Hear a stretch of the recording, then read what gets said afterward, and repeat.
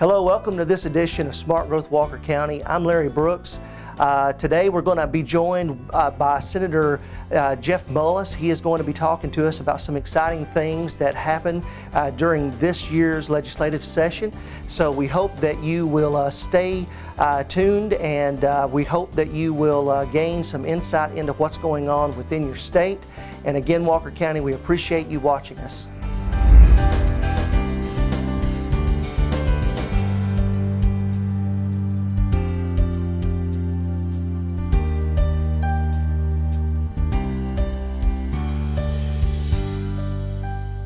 Hello, I'm Larry Brooks. Uh, welcome to this edition of Smart Growth Walker County. I'm here with our Senator, uh, Jeff Mullis. We're uh, so excited about having him uh, with us during this episode. So, welcome, Jeff. Thank you, Larry. Glad to be here. Uh, we want to take a little bit of time uh, today to talk about some of the issues that may be coming down from the state and uh, give uh, Senator Mullis a little bit of opportunity to uh, sort of explain some of the things sure. that are happening. So again, welcome and, Thanks and for having so me. yeah, so let's uh, let's just jump in. Um, so uh, just got through with the session. And I know that uh, every time that you uh, come home, there's always a, a, a gamut of, of, things that you guys yeah. have been working on. Uh, give us some of the, the things that uh, you know are coming well, out. Let me talk about the session first. Sure. Okay. I don't think a lot of people realize, but we're a citizen legislature. -huh.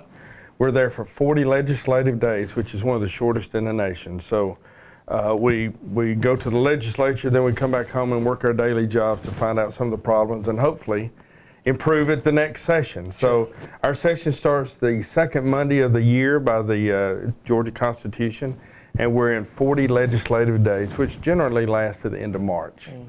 And then we're home on the weekends, and occasionally we have a break here and there. But uh, our job, our constitutional obligation is to balance the state budget, and also while we're there to take on different issues to try to prove it for uh, our area and the state. Yeah. Well, I, tell me this uh, before we get into those issues.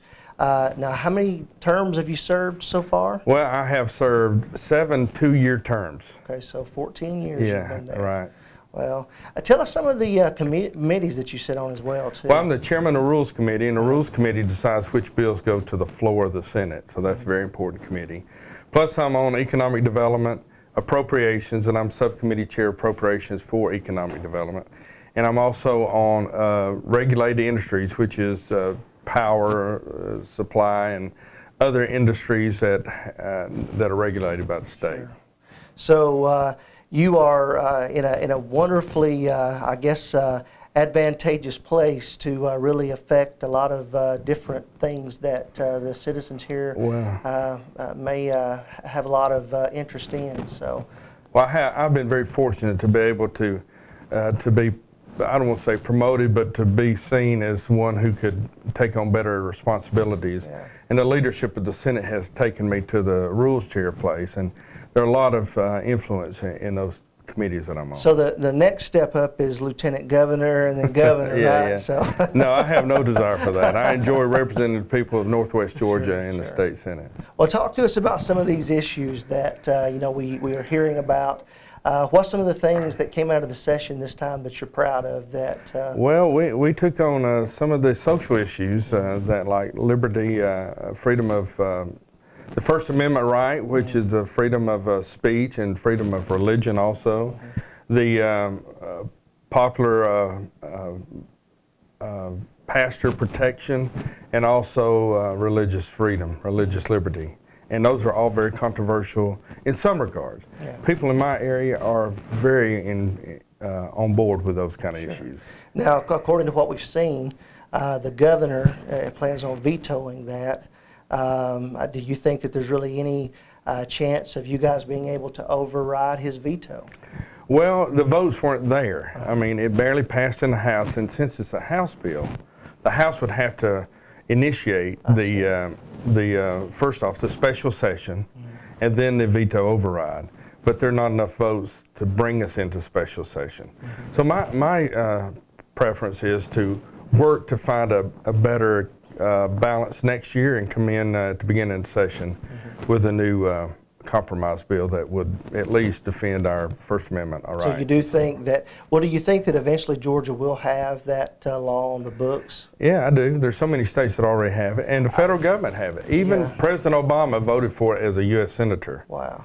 So maybe we can just codify the federal law into state law too. Uh, It seems like I had read somewhere that there were 21 states right now that Yeah. uh, actually had it on the books. Yeah. Well, well, uh, you know, just uh, talking about that, I mean, um, I, I'm, I'm assuming that the that the governor's decision to do that, you know, had a lot to do with the money being spent in Georgia, or at least that's what it seems Well, to. as you know, uh, different uh, groups are threatening to not come to Georgia to do business, and and that that's his perspective. He has a statewide perspective, where mine is Northwest Georgia's Sure, perspective. sure, so, sure. You know, I respect that and I understand Exactly, that. But yeah. you know, we're trying to get the uh, the Super Bowl, and they said they wouldn't consider coming, and they're trying to get uh, other sporting events and things that would be huge economic impacts. Also, they claim that there were a couple of big businesses looking at being recruited to Georgia, and they decided to look elsewhere.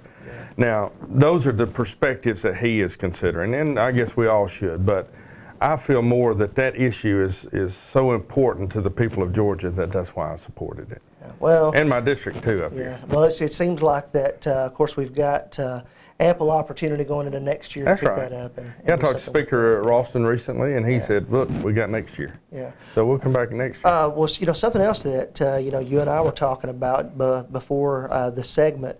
Uh, looks like Georgia is uh, number one again as far as uh, recruiting business uh, or doing business. You know, within a state. I mean, that is uh, wonderful news. Well, uh, again, Georgia is number one for business Yeah. in America, and uh, it's it's all the partners we have, including uh, local industrial authorities that you uh, oversee in Walker Yeah. County, and uh, the the uh, Northwest Georgia Joint Development Authority would be involved in that too. But Sure.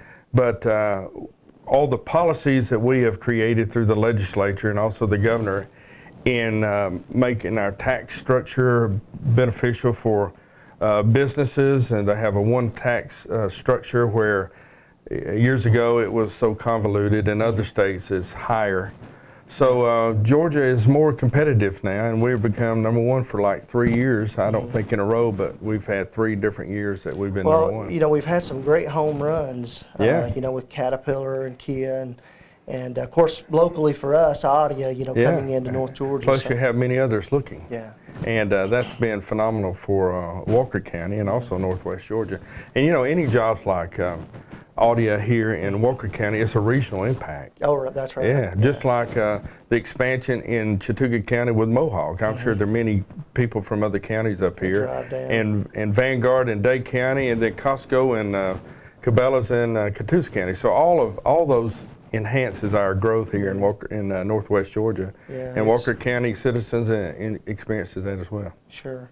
Uh, what's some of the other uh, issues that you guys have, have tackled this year? Well, you know, uh, being a pro-gun, a pro-Second Amendment legislature as I am, we we have passed campus carries, and that's somewhat controversial. But uh, you know, my whole preference in uh, legislature on gun issues is only the uh, gun laws are for the law-abiding citizens because the bad guys already have the guns. That's right. Yeah. So um, uh, the campus carries would be, you'd have to be 21 years old and have a carry permit, which has an extensive background check. And we've just, we already have some kind of campus uh, ability, but we opened it up a little more.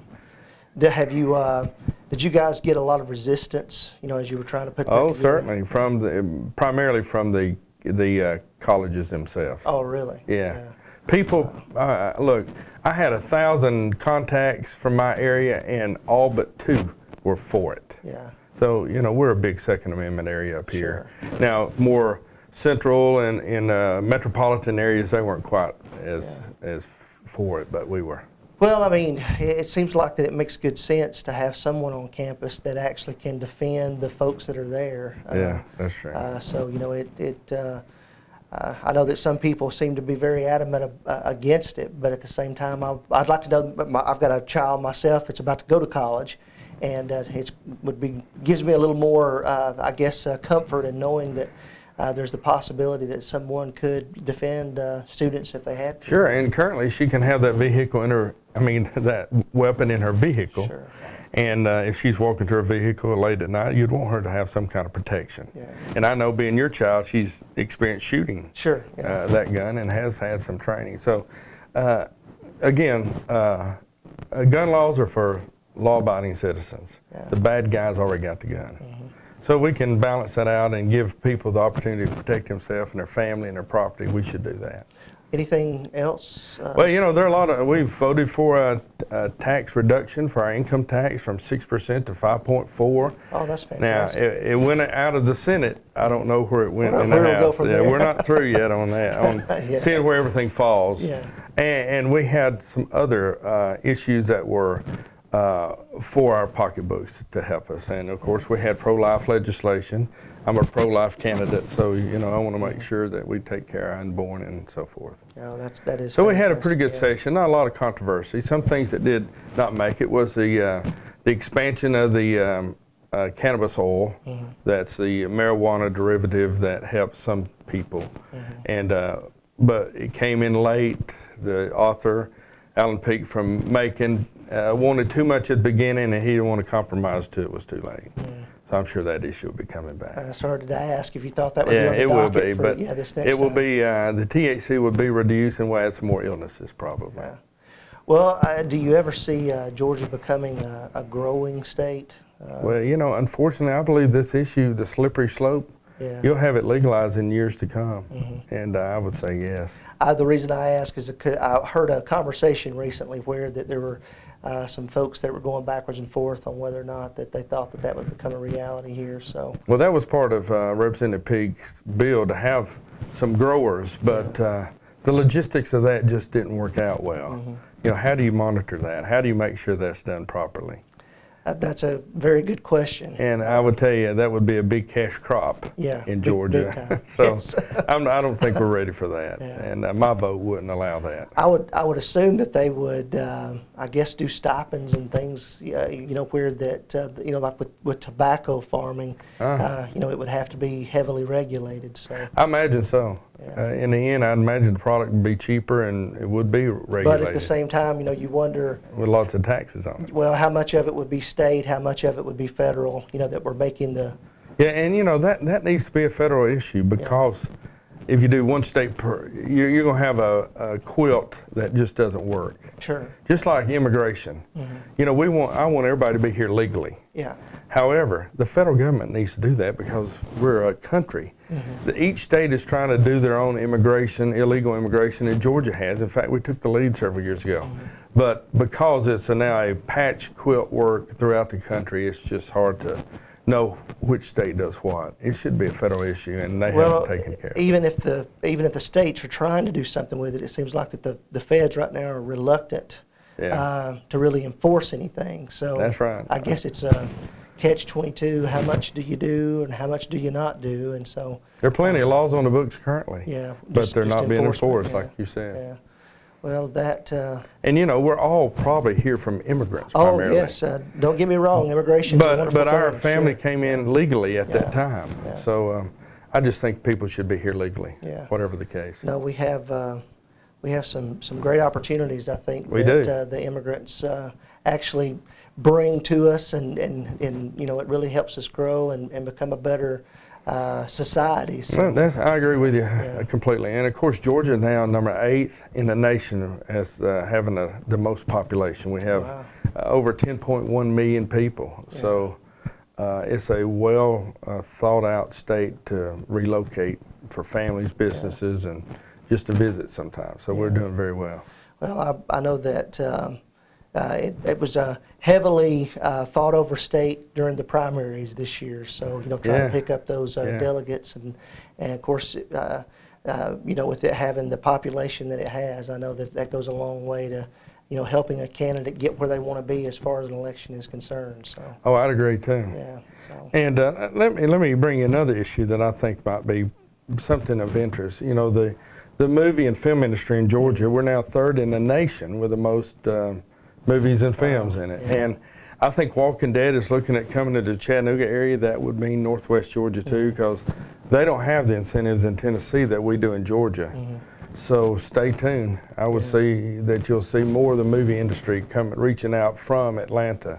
Yeah. and visiting rural communities It's like amazing. Northwest Georgia. Yeah, it's amazing. So are you ready for your close-up? Well, they've asked me. They've, they already put a call in, and and uh, no, I'm just kidding. So, uh, but uh, yeah, it really is because I remember years back when you were first talking about this, and you know, people were uh, somewhat, uh, I guess, skeptical about whether or not Yeah, that, sure. that they would choose to come to a, a, a rural state like Georgia. Uh, but we really are starting to see lots of uh, lots of opportunities. Yeah, let me tell you the numbers, in fact. Up to about 2000, the total amount of money spent in Georgia from the movie industry, I'm talking about from 1973 or whenever Deliverance was filmed, that started the movie industry in Georgia. Yeah. Uh, we probably gathered $1 billion. Now, we gather more than $6.5 billion a year from Wow, the movie industry. wow. So it is a major accomplishment for Georgia. And when a, a movie comes to a local community, there's a lot of money spent in that Sure, community. So we're trying to get them up here too. Well, we we we certainly would love to see more coming this Yeah, way. of course, great. Uh, the viewers probably remember Water for, for Elephants uh, being shot here not long ago. On so- West Cove Road, wasn't it? That's Yeah. right. That's right. Uh, I, I had a cousin who was a sheriff's deputy at the time, and he said, "I, I have never had to do crowd control the way that uh, we had to do because of Robert Pattinson being." Oh, yeah, So, yeah, yeah. But anyway, Been from the movie well, Senator, thank you so much for uh, being with us. Thanks we for having me, appreciate Larry. It. Yeah, and and. Uh, if you have questions, maybe you're out there and you've got some questions that you would love to uh, ask uh, Senator Mullis. Uh, what's your phone number that you could share? Well, share? my with phone number is 706 375 and the birth of our nation, 1776. And my email is jeffmullis at comcast.net. So give me a call or um, send me a message. Love to talk with you. So uh, until next time, Walker County, thank you so much for joining us. All right, there you have it. We hope that you've enjoyed uh, this segment today with Senator Mullis. Again, he shared some very insightful uh, details as to what's going on with this legislative session. If you have further questions, uh, you can reach him at the uh, contact information that's being shared on the screen right now. And again, Walker County, until next time, thank you for watching.